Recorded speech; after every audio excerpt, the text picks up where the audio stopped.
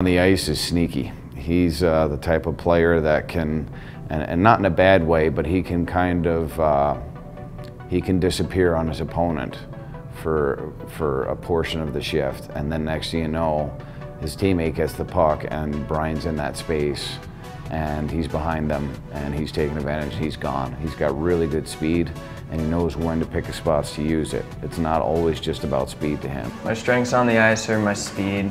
I have a quick release with my shot, uh, great vision that I can find anyone anywhere, and I use my speed to my ability on forecheck and back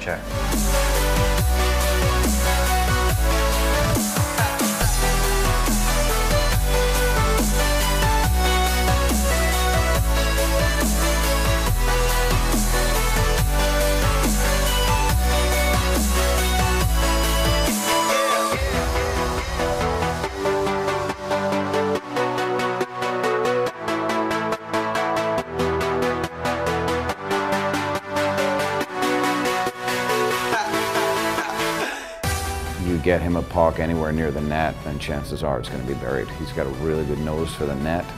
Uh, he's worked on his defensive game as the season's progressed, and I think that was something that was lacking earlier on. Um, but it speaks volumes about him in the sense that he's a player that has consciously worked on it in practice. He's a guy that will ask questions in practice and say, what's my expectation here? What do you need to do? So I know he's honing his craft. I know he's trying to improve a weakness and not just be that type of player that just says, well, this is my strength, I'm going to just enhance it, and this is what I'm bringing to the table, and that's it. Uh, he's actually working on all aspects of his game. I feel like I'm here to try and put up points, but also contribute defensively as well. I've been working on my defensive game the whole season, and it's been improving a lot. I think my offensive ability is there to move up, and I just have to work on my defense, like improve that, and then I, I believe I can be the next level player. And the more he's getting better defensively, which he is improving, the more offense he's providing for us. We're gaining more possessions with him out there, which in turn with his speed, we turn it, his transition game is outstanding. So he brings us a lot of speed and, and, and good transitions.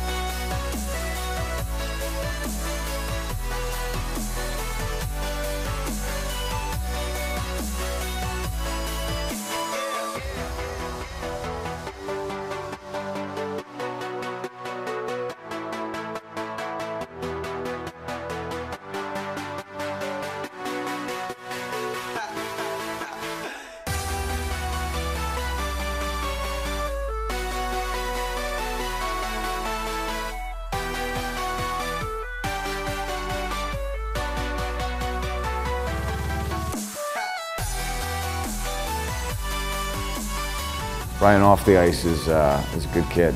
He, uh, he's been real nice, been a real pleasure to, to coach. Like I said, he, he's a good communicator. He, he speaks with me Uh, he'll ask questions. Uh, he's a kid that's serious about what he wants to do. Uh, when he's here, he's not the type of guy that messes around a lot.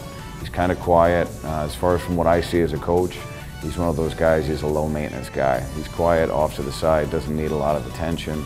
You know, I tell him what his job to, is to do, and when he's doing it, everything's, everything's kind of copacetic. When he's not doing it, you address it. And he kind of gives a, a shrug like, all right, well, let's do it. I feel like I brought a leadership like on and off the ice, but um, our captains do a great job of that, and I'm just here to contribute in the best ways I can.